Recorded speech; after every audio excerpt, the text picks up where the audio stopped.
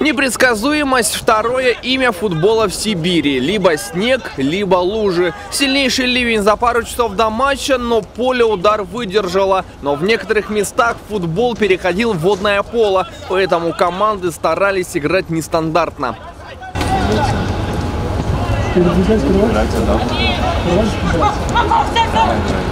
А вообще есть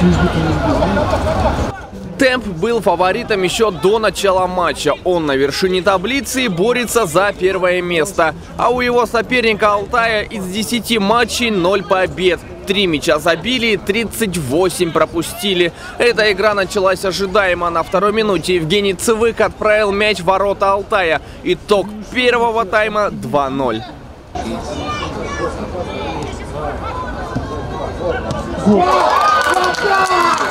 Задача играть комбинационный футбол.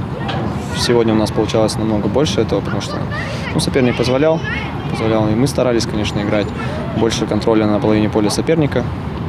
Не гнаться за голами, а гнаться за красивым футболом. Ну, и, соответственно, придет результат, когда будем показывать качественный футбол. Во втором тайме Алтай попробовал навязать свой футбол, но голы Сычева, Бабича и Гречникова свели эти попытки на нет.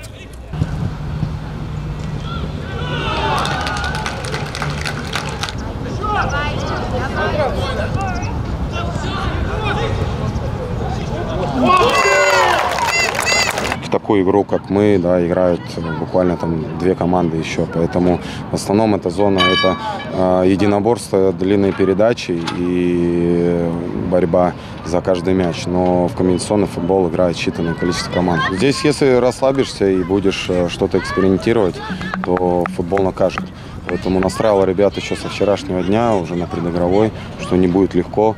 И те же самые результаты, которые я смотрю, Алтай проигрывает. В некоторых матчах им э, просто залетает практически, да, все. Команда молодая, и я думаю, они на правильном пути. Но пока получают, да, немножко по шапке. Но это закалит.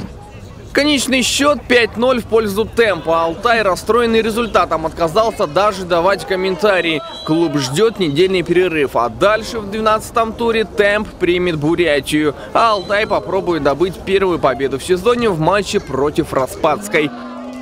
Дмитрий Дроздов, Дмитрий Денисов. День с толком.